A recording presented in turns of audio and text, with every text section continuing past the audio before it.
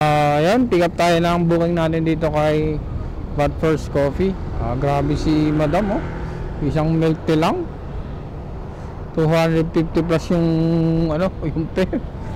Sa isang milk tea. Nagki-crave to kaya ano, medyo kahit malayo, sige go. Kahit mahal para sa isang milk tea, no? O order. Dupit. Tayo okay na? Grab. Grab kayo, no? Tinin niya. Late lang, no? Sa layo pa. para isang milk tea, no? Grabe. Layo. Para sa nag-iisang milk tea. Tindi ni ma'am. Ang din ng customer ko. Para sa isang milk tea, layo ng inorderan niya. Dito pa sa San Pedro Laguna, dadalhin siya sa may Katarungan. Tarungan ba to? Dadalhin siya dun sa may Dang, Dang Reyna.